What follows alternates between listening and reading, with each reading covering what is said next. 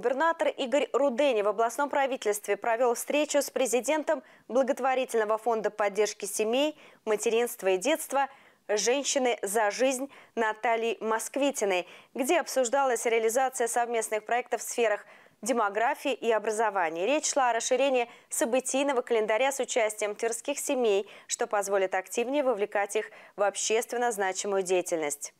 Так, в план мероприятий «Года семьи» от Верхневолжья включен проект «Большая семья. Тверская традиция», реализуемая при поддержке областного представительства фонда «Женщины за жизнь». Среди них реализуемый фондом проект «Здравствуй, мама».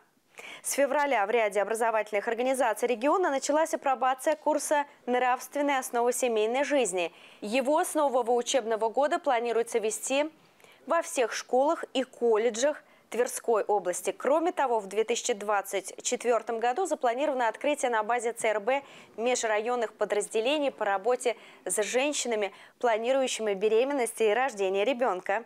Напомним, что в декабре 2023 года в Верхневолжье открылось областное представительство фонда «Женщины за жизнь». Его работа направлена на поддержку женщин в ситуации репродуктивного выбора – продвижение идеи защиты жизни детей, оказание помощи как беременным, так и тем, кто уже стал мамой, одиноко проживающим, многодетным матерям, тем, у кого невысокий уровень доходов.